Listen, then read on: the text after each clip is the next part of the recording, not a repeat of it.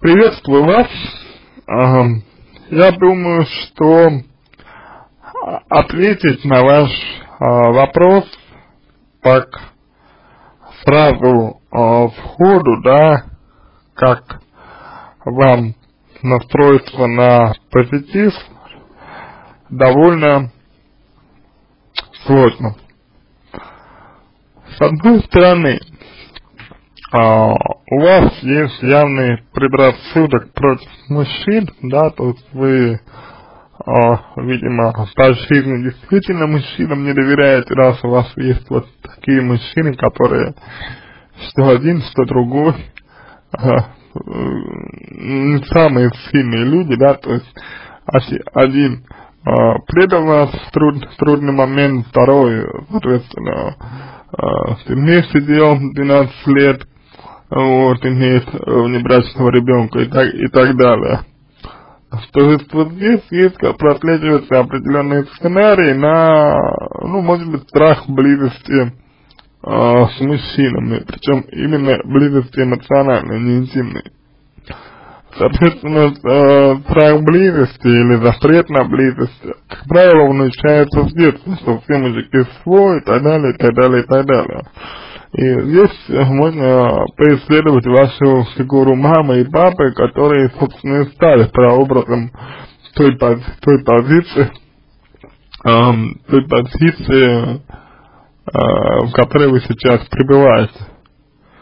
Это если говорить о психологических причинах э, вашего состояния, вашей, ну, вашей жизни, вашего, вашего образа жизни.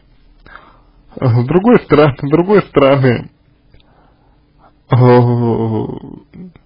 другой стороны, ваш второй мужчина после тюрьмы мог измениться, стать другим. Ваш второй мужчина не признавался вам в любви. Ваш второй мужчина не обещал вам ничего, ну, кроме того, что хочет, э, хочет семью и кроме того, что готов помочь за счет ребенка. То есть ваш мужчина ничего этого, э, как бы ничего не обещал. И, и в общем-то, то, что вы от него хотели, а хотели вы зачать ребенка, вы получили. А вот при чем здесь семья, при чем здесь отношения, для меня это большая загадка. Потому что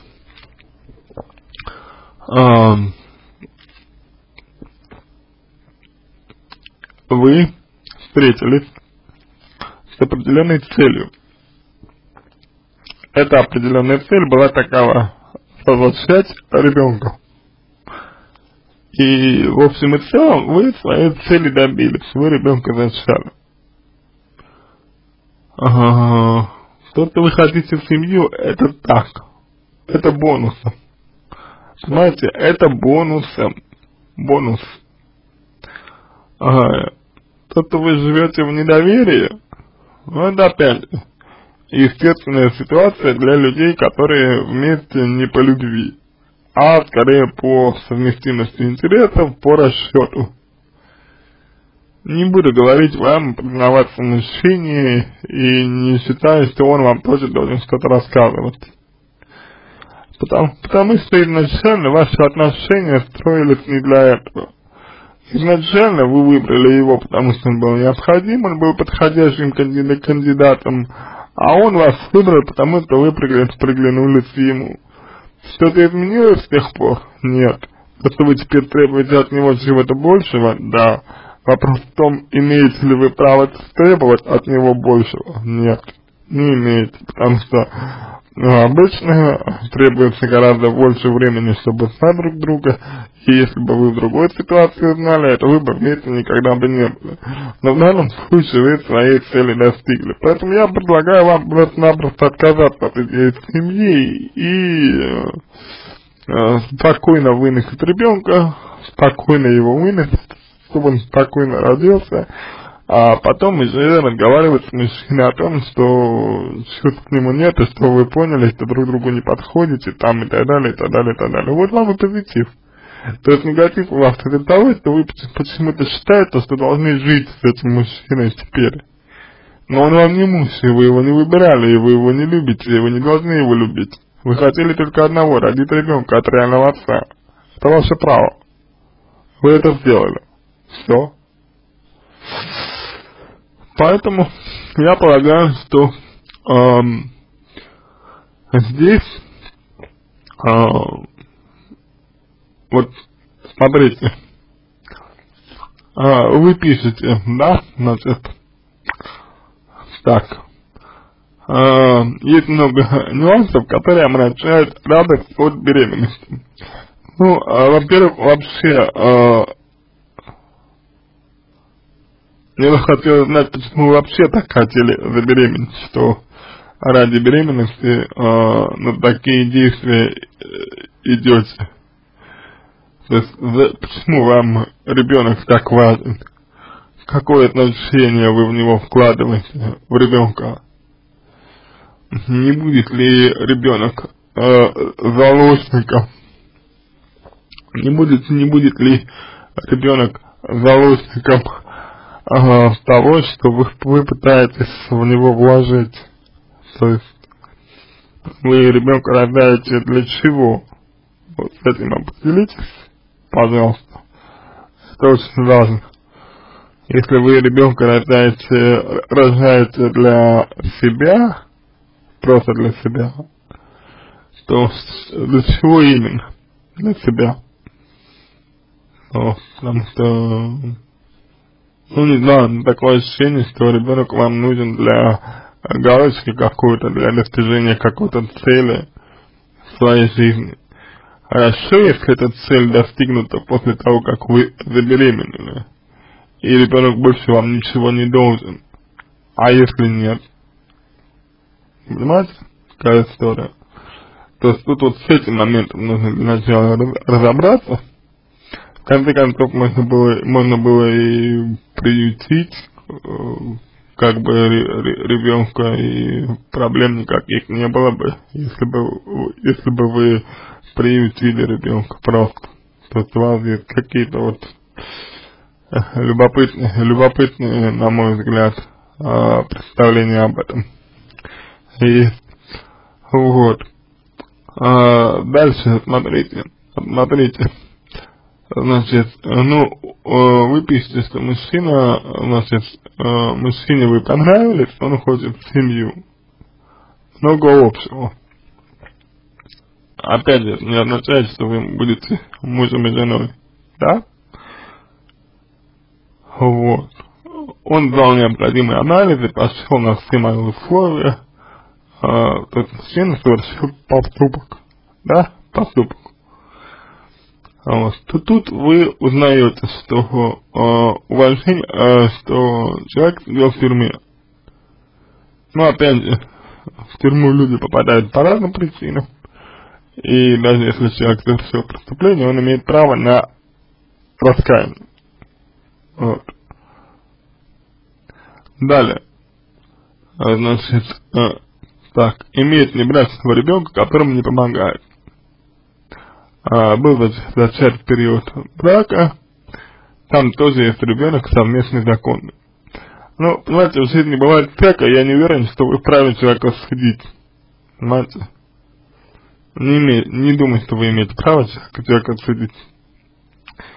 А, вы не знаете всей истории, вы не знаете, как он к этому относится, поэтому, поэтому я не, не думаю, что вы имеете право человека судить. Вот. Обвинить-то при желании, понятно, можно любого и за все, но вот только зачем? Смысл? Поэтому здесь вопрос к вам, не является ли отсутствие уважения к нему проекцией того, что вы сами испытываете к себе? Например, что вы бы себя не уважали, если бы вас не было ребенка. Например. А, про внебрачного ребенка не, а, он скрывает, а я скрываю то, что знаю. Это ваше право, я уже сказал. Со своей стороны, есть своя информация о том, что я была больна раком, что болезнь может вернуться после родов, и что удаление неизбежно в будущем. Но опять же, это ваше право, право потому что, как бы, вы с мужем, по, э, своим мужчиной по расчету, вот, вы даже не обещались. Это просто два человека решили как бы объединиться во имя общей цели.